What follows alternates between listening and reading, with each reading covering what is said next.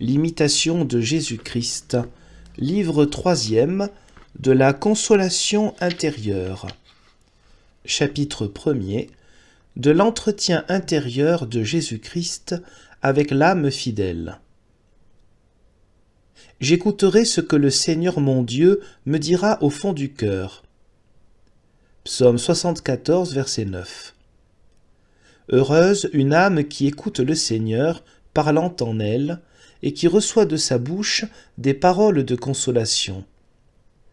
Heureuses les oreilles qui entendent le doux bruit de l'inspiration divine, et qui sont bouchées au bruit confus de ce monde.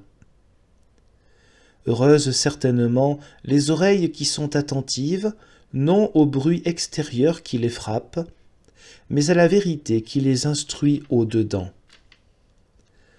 Heureux les yeux qui, se ferment aux choses du dehors, ne s'ouvrent que pour les intérieurs. Heureux ceux qui connaissent à fond les choses intérieures et qui, par leurs exercices journaliers, se préparent et s'étudient de plus en plus à pénétrer les secrets du ciel. Heureux ceux qui mettent leur joie à s'occuper de Dieu et qui se dégagent de tous les embarras du siècle.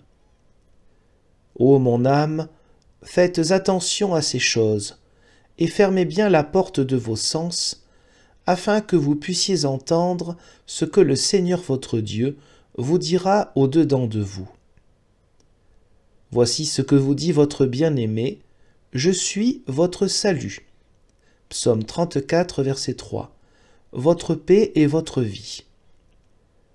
Tenez-vous auprès de moi, et vous trouverez la paix. Laissez tout ce qui est passager, et ne cherchez que ce qui est éternel. Que sont toutes les choses temporelles, sinon illusion et tromperie? Et que vous serviront toutes les créatures, si le Créateur vous abandonne? Ayant donc renoncé à tout, rendez-vous agréable et fidèle à celui qui vous a créé, afin que vous puissiez acquérir la véritable béatitude.